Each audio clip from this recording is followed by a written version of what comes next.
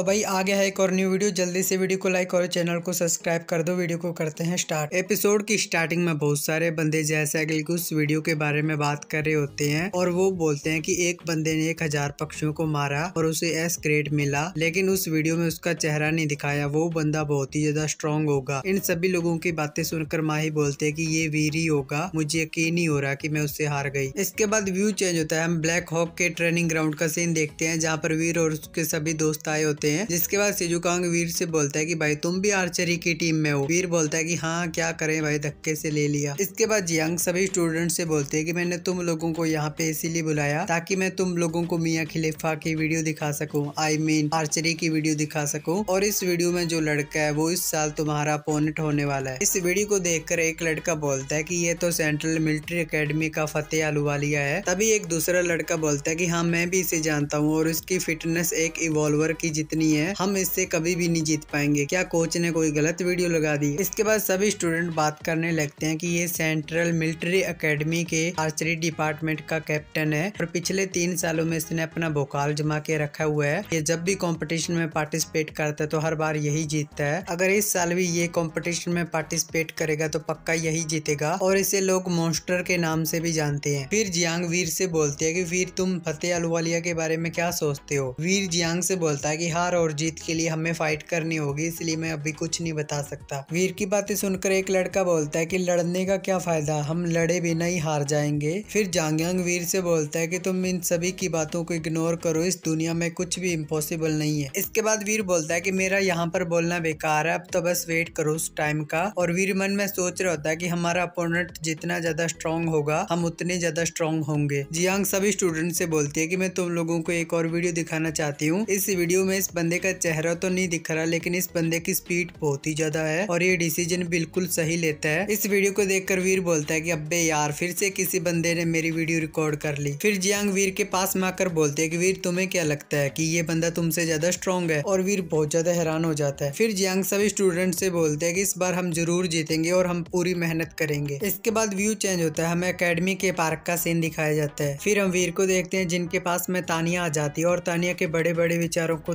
देखकर सिजुकांग के तो होश उठ जाते हैं और वो उन्हीं की तरफ़ देख रहा होता है। इसके बाद तानिया वीर से बोलती है कि क्या तुम्हारे पास मेरे से बात करने का टाइम है? पिछली बार जब तुमने उस सीक्रेट ब्लड एलियन को मारा था तो मैंने तुमको कोई गिफ्ट नहीं दिया था, इसलिए तुम मेरे साथ चलो। इसके बाद तानिया वीर के दोस्तों से बोलती है कि अगर मैं वीर को यहाँ से लेकर चली जाऊँ तो तुम लोगों को कोई दिक्कत तो नहीं है ना? फिर वीर के दोस्त वीर को आगे करके बोलते हैं, नहीं नहीं, कोई दिक्कत नहीं है, ले जाओ। फिर सिजुकांग और लीमेंग आपस में बात करने लगते हैं कि साला पहले वीर की सेटिंग रूही के साथ में थी और अब इस बड़े विचारों वाली लड़की के साथ में हो गई। और हम ही है जो साला सिंगल है और हिला रहे हैं। इसके बाद व्यू चेंज होता है। हम क्वीन रेस्टोरेंट का सीन देखते हैं जहाँ पर वीर तानिया से बोलता है की, आखिर तुम मुझे कहाँ पर लेकर जा रही हो? फिर तानिया बोलते है की, तुमने ही तो कहा था की तुम्हें खाना खाना है। और फिर हम रेस्टोरेंट के अंदर का सीन देखते हैं जहाँ पर वीर और तानिया एक टेबल पे बैठे होते हैं। और वीर तानिया से बोलता है की, आखिर हम कहाँ पर आए हैं? और वीर मन में सोच रहा है कि, ये दो बंदे फाइट करेंगे, ये दोनों इवॉल्वर है। फिर तानिया वीर से बोलते हैं कि, ये हमारा अरेस बुडोकोंग है और यहाँ के स्टूडेंट यहाँ पर परफॉर्मेंस करने आते हैं। और फिर तानिया वीर से बोलती है कि तुम ग्रेजुएट होने के बाद क्या करना चाहती हो? वीर उससे बोलता है कि मैं क्या ही सोच सकता हूँ, मैं आर्मी में जाऊँगा। तानिया वीर से बोलते हैं कि अगर तुम आर्मी में जाकर फाइट ही करना चाहते हो तो तुम हमारे रेस बुडोकोंग को ज्वाइन कर सकते हो। काफ़ी बंदों ने इसकी ट्रेनिंग कर रखी है। मुझे यकीन है कि ये तुम्हें फ्यूचर में काम आएगा। और वैसे भी वीर, तुम्हें अभी बताने की कोई भी ज़रूरत नहीं है। तुम इसके बारे में लंबा सोच के बता सकते हो, क्योंकि तुम्हें अभी ग्रेजुएट होने में काफ़ी टाइम लग जाएगा। और फिर तानिया वीर से बोलते हैं कि, तुम्हें पता है इस रेस्टोरेंट को क्वीन रेस्टोरेंट क्यों कहा जाता है? क्योंकि यहाँ पर सच में क्वीन रहती है। इसके बाद हम देखते हैं कि उस अरेना में एक लड़की आ जाती है। वीर उस लड़की को देखकर बोलता है कि, इस लड़की को देखकर ऐसा लग रहा है कि इसने अभी अभी हज़ारों बंदों को किल किया हो और इस लड़की से एक खतरनाक फीलिंग आ रही है। और ज़रूर ये एक इवॉल्वर होगी। मुझे अपनी स्पीड जल्दी से जल्दी बढ़ानी होगी। इसके बाद वो लड़की अपना हाथ ऊपर उठाती है, जिसके बाद चारों तरफ़ क्वीन क्वीन नाम करके गूंजने लगता है। इसके बाद वहाँ पर एक बंदा आ जाता है, जिसके बाद तानिया वीर से बोलती है कि आज क्वीन को जो बंदा चैलेंज करने वाला है, उसका नाम जिकी आंग है और ये भी एक इवॉल्वर है। वीर उस बंदे को देखकर बोलता है कि इस बंदे के हाथ तो मेटल के हैं और जहाँ तक कि मुझे याद है कि ये अलोन फिस्ट का न्यू वर्जन है और ये एक एस क्लास हाइपर जीनाट का नया वर्जन है। ये बंदा वाकई में बहुत ज़्यादा स्ट्रॉन्ग है। इसके बाद वो बंदा अपने फुटवर्क का यूज़ करके क्वीन के ऊपर अटैक करने लगता है। इस अटैक को देख वीर बोलता है की ये बंदा तो बहुत ही ज़्यादा स्ट्रॉन्ग है, लेकिन क्वीन इतनी खास नहीं लग रही। लेकिन पीछे से तानिया बोलती है कि कुछ भी कह लो, लेकिन जीतेगी क्वीन ही फिर क्वीन अपने हाथ को स्वॉर्ड बनाकर उसके अटैक को ब्लॉक कर देती है और इसे देखकर वो बंदा भी बहुत ज़्यादा हैरान होता है। इसके बाद क्वीन बोलती है कि अब मेरी बारी है। और इस मैच को देखकर वीर बहुत ही ज़्यादा हैरान होता है और वो बोलता है कि इस बंदे का हाथ मेटल का था और उस लड़की को एक खरोच भी नहीं आई उल्टा उसने अपने हाथ से उसके अटैक को ब्लॉक कर दिया। इसके बाद हम देखते हैं कि वो बंदा अपनी स्पॉट बाहर निकाल लेता है। इसके बाद तानिया बोलती है कि क्वीन को आज तक कई बंदों ने चैलेंज दिया, लेकिन आज तक कोई भी नहीं जीत पाया। इसके बाद हम देखते हैं कि क्वीन उस बंदे पे अटैक करके उसको किल कर देती है। इसके बाद हम देखते हैं कि क्वीन अपना हाथ ऊपर करके खड़ी होती है और वो बंदा नीचे पड़ा होता है। वीर इस मैच को देखकर मन में सोच रहा होता है कि मैंने इवॉल्वर की कई सारी वीडियो देखी और इन सभी को देखकर मुझे अब पता चल रहा है कि एक इवॉल्वर की असल पावर कितनी होती है। और फिर तानिया वीर के कंधे के ऊपर हाथ रखकर बोलती है कि तुम फ्यूचर में क्वीन से भी ज़्यादा सम्मान प्राप्त कर सकते हो और मुझे यकीन है कि तुम क्वीन से भी आगे चले जाओगे। फिर वीर तानिया से बोलता है कि क्वीन इवॉल्वर के बीच में ज़रूर टॉप में आती होगी ना। तानिया वीर से बोलते है कि ये तुम्हारे लिए कुछ भी नहीं है। तुम मेरे से शादी करके हमारे परिवार के दामाद बन सकती हो। ये सुनकर वीर को उल्टी आ जाती है। इसके बाद व्यू चेंज होता है। हम टाइटन प्लेनेट पर देखते हैं, जहाँ पर वीर अपना डेटा देख रहा होता है। जहाँ पर उसके ऑर्डिनरी जीन पॉइंट शो होते हैं और प्राइमरी जीन पॉइंट शो होते हैं और mutant gene point sixty four होते हैं और सीक्रेट ब्लड जीन पॉइंट पचास होते हैं। और फिर वीर डॉलर बन के नान के पास चला जाता है और भाई नान वही बनता है जिसने वीर को एक बार लूटने की कोशिश की थी, लेकिन वीर ने इसके पिछवाड़े में अपना भाला डाल दिया था। और फिर नान डॉलर को देखकर बोलता है कि भाई तुम यहाँ पर हो, और जब तुम डार्क स्पैम से चले गए थे तो मैंने तुमको बहुत मिस किया। फिर वीर नान से बोलता है कि बकवास करना बंद करो। सच में बताओ कि उस अंधेरे दलदल में ह्यूमनाइट सीक्रेट ब्लड एलियन है या नहीं? मुझे सब कुछ बताओ। फिर नान बताने लगता है कि हाँ सच में वहाँ पर एक सीक्रेट ब्लड ह्यूमनाइट एलियन है, लेकिन मैं उसे अकेले नहीं मार सकता, इसलिए मैंने सोचा टीम अप करके मारते हैं। फिर नान बताने लगता है कि वो एलियन कैसे देखता है वो बताता है कि वो एक सीक्रेट ब्लड ह्यूमनाइट एलियन है और उसके पास एक कवच और एक बाल है और वो एक घोड़े पे सवार होता है। फिर वीर सोच कर बोलता है कि उस एलियन के पास में कवच और बाला है, क्या तुमने उससे फाइट की थी? फिर नान बोलता है कि हाँ मैंने उससे फाइट की थी, लेकिन बाद में मैं वहाँ से भाग गया था। वीर वहाँ से जाते हुए बोलता है कि चलो फिर चलते हैं। नान उसके पीछे जाते हुए बोलता है कि भाई, शिकार करने का रूल ये रहेगा कि जो भी उसको मार के डेविल सोल ले लेगा, उसी की डेविल सोल रहेगी। इसके बाद ये वाला एपिसोड यहाँ पे खत्म।